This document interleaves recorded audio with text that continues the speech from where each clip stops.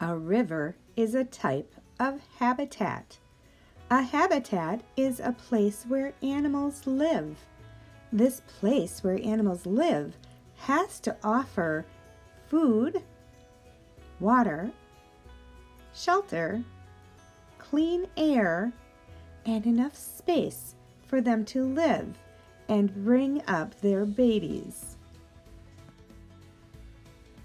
In a river habitat, animals that live there are called aquatic animals because they live in or near the river. So, aquatic animals like this animal right here live underneath the water, or some of them live either under the water and above the water, or some might live just above the water, but they need to have water in order to survive. This aquatic animal is a snapping turtle, and the snapping turtle lives most of its life under the water until it comes to the surface to grab a breath of air. It breathes air from the oxygen in the air and cannot breathe underwater. Instead, he holds his breath when he goes underneath the water. Snapping turtles come to land to lay their eggs. Their eggs are circular and are buried under the soil, and the little babies, only the size of a quarter, hatch out and find water on their own when they hatch. They find the water and they emerge themselves under the water with the fish and all the other animals that live below the surface of the water. Here you're looking at fish and the plant life in an underwater habitat, an aquatic habitat in a river. Animals like fish breathe through gills on the side of their body, so they have to stay underneath the water all the time. The gills allow them to catch the oxygen that's in the water. The plants that are in the water offer more oxygen for them, and it also offers them a place to hide. Plants are important for other animals that live underneath the water as well. If you look closely, you can see some snails that are attached to the stems on these plants. Snails and other types of insects often use plants as their food or as a place to hide from predators such as fish that might come around and eat them if they're not careful. Some insects live their entire lives underneath the water, like this water beetle, but some insects live part of their lives under the water and part of their lives above the water, like these water striders. There are many insects that need the water for their babies to grow in before they can emerge as adults. Another animal that requires water but can also come out of the water is a crayfish. A crayfish is a freshwater crustacean, so that means that he has a shell that covers his entire body. Because he has that shell, his gills, which help him breathe underwater, stay moist when he comes out of the water.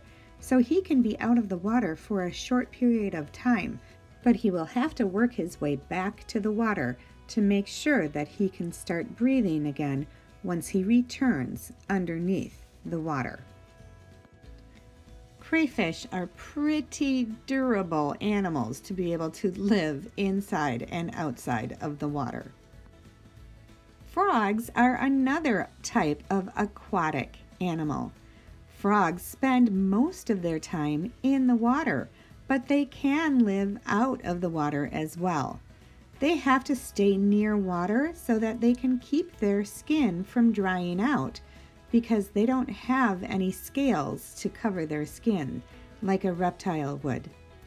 Frogs find their food in the water and they are able to escape predation when they're in the water easier than when they're on land. They have long legs that help them to jump and escape predation if a predator is nearby.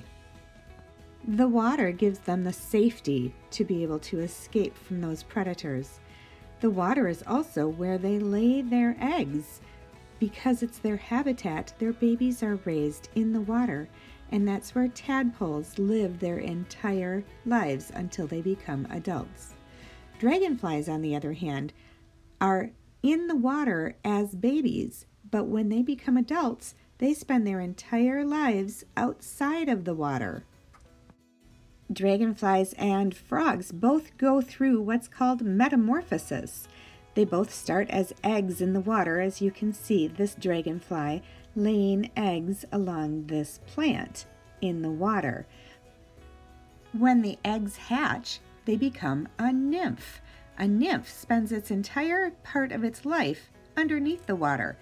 And then, when it's finally ready to become an adult, it climbs up on the stem of a plant sheds its skin for the last time, and exposes its wings so that it can fly and live the rest of its life as an adult in the air, not in the water.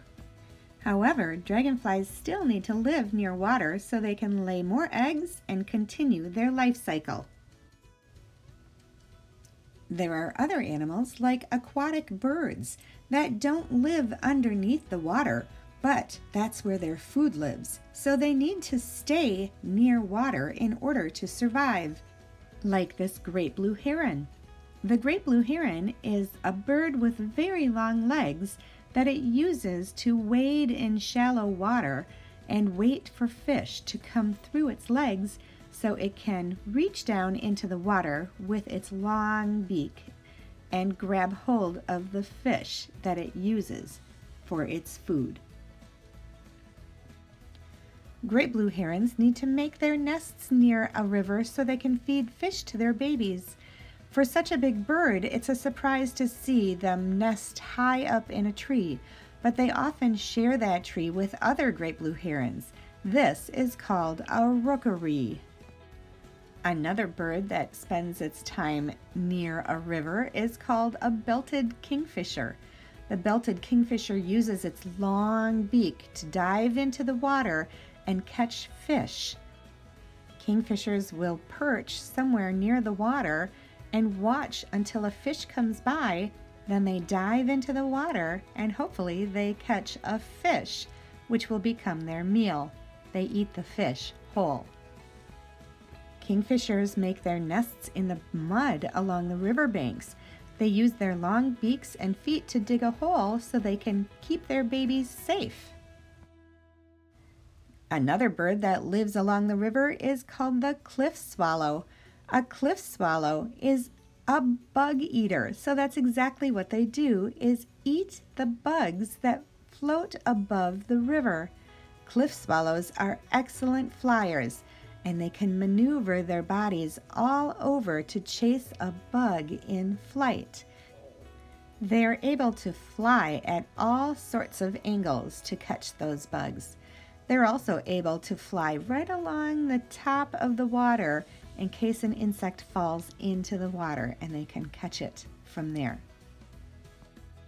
If you look carefully, you can see all of the swallows flying above the water in this scene. Many of the swallows fly in the same area and catch their food in that same area because they use the river as their habitat and build their nests right along the river. You can see the baby cliff swallows looking out of their nests that they build from mud that they take from the riverbank. Many cliff swallows will nest in colonies, so there are a lot of nests all together, and they're able to find their food and raise their babies in safety in a colony. Another bird that lives along the river is the bald eagle. The bald eagle lives here so it can find its fish in the river. It uses its long talons to grab the fish out of the river and brings it back to a perch where it will eat the entire fish. Fish are very important for eagles to use as their food source. It's not their only food, but it's the main source of food that they use. They use that fish in order to feed their babies. This is why the eagle needs to make its nest close to an area where there's water. Those baby eagles need to eat at least every three hours. Even as they grow bigger, mom and dad continue to find fish for them and bring that fish back to those babies until they get to be big enough to fly away. Another type of aquatic bird is the Canada goose. A goose is a type of waterfowl, like a duck. They spend most of their time on the water or on the shoreline near the water. This is where they are safest. They find most of their food in the water, but they're also able to find food along the ground on the shoreline.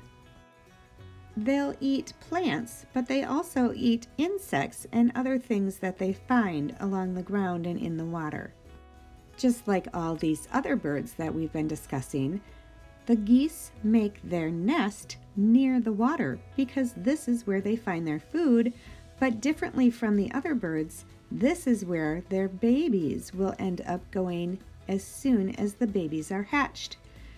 Geese have babies that are ready to swim as soon as they are hatched out of their eggs. So, mom will lead those babies down into the water, and the babies are safer when they're in the water than when they're on land. The babies do go on land, but mom and dad stay very close by and watch over them and protect them from any type of predators. predators like the otter. The otter is an aquatic mammal. He's a mammal that lives in the water and on the shoreline near the water. Otters spend most of their time in the water where they look for fish. Once in a while, they might try to eat a baby goose when it's very tiny, but fish are their primary source of food. Otters like fish so much that they can eat up to two to three pounds of fish every day. That's a lot of fish. Otters need to spend a lot of their time fishing, but one thing that I love about otters is that they like to play. They're one of the only animals that plays just for the fun of it. Otter babies are super cute too. They're able to swim when they're very young. They stay close to mom and they learn how to fish by watching mom.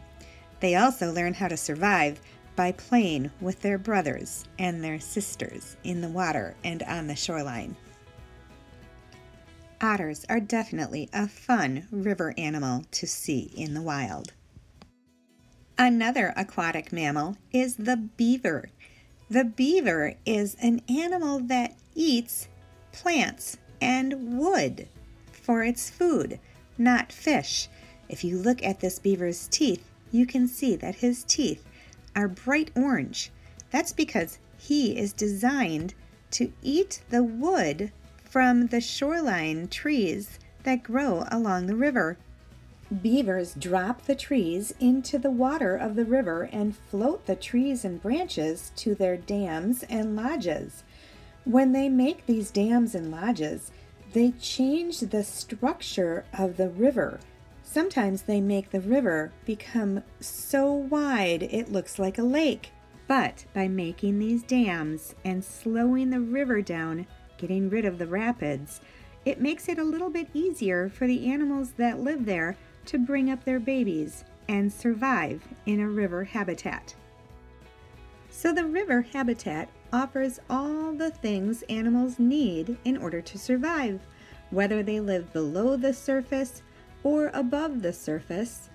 The river poses a challenging habitat to live in, but the animals that live there are able to find what they need and are able to survive.